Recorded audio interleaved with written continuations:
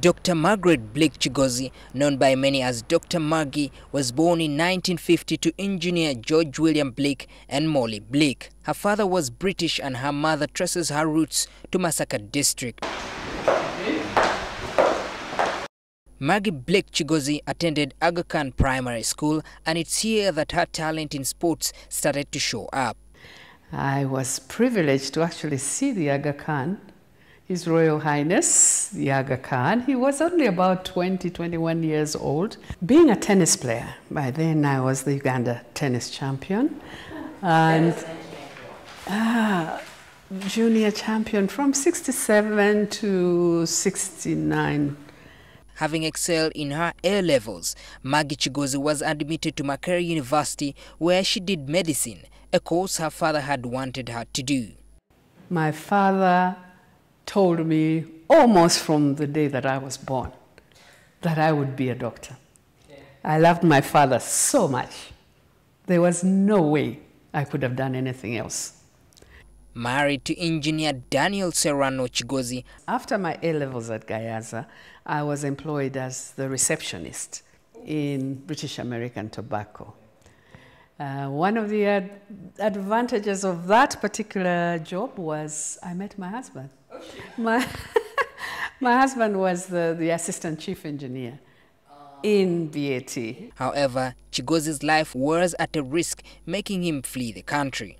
He was supposed to have produced inferior beer for the army, so they were looking for him. So it was an allegation. Uh, it was not true.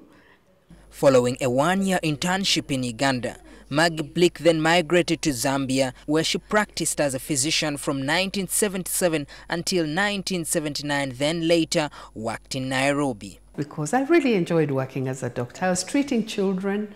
They get better, you know, they come, they're really sick, they go away and they're so much better. And it, really is a nice feeling.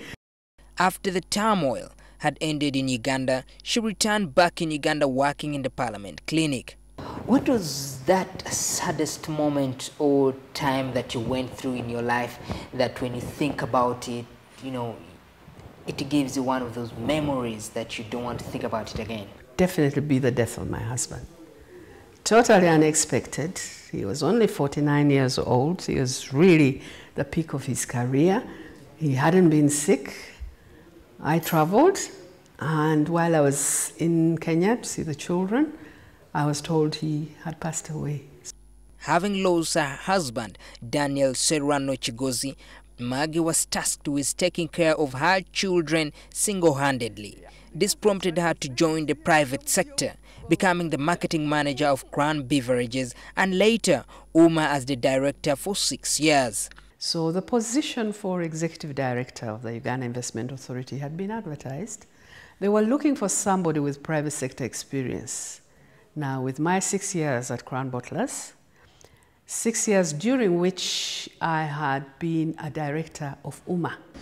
According to Maggie, to excel, the mindset has got to change to look at things differently. Mindset change of waiting to be given. Security, number two. We've already got those two. Let us just ensure we retain those two. Though coming from a sports family, this wasn't the case for some of our kids. Captain, that's what most guess nah. I'm in the cabin, close to a hostess. Uh-huh. Entebbe planes only land close to the coast. Yes. So your son is one of the greatest rappers in Uganda in particular. What was your first impression when your son Daniel, of course commonly known as Navio, told you that he's entering into the industry of rap? He joined very, very early. The first discussion that we had was yes, rap is well enough. Yes, you're doing well. You're getting all these awards, but you've got to go to school. I need a degree. But the minute he graduated, he handed me my degree. Mom, take your degree. now I'm going to do my music. In her free time, she rarely participates nowadays in sports, but vibrantly supports it.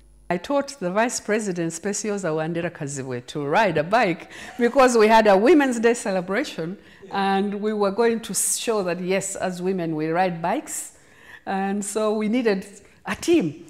Apart from being a chief scout of the Uganda Scouts Association, these are just some of the things that keep her busy. have my grandchildren. Keep you very busy. I actually had forgotten how much work young children are. Yeah, because that's what he said. Some of her role models are President Museveni, Nelson Mandela, and some of her lecturers. For now, one of her number one passions is planting trees and talking to the youth.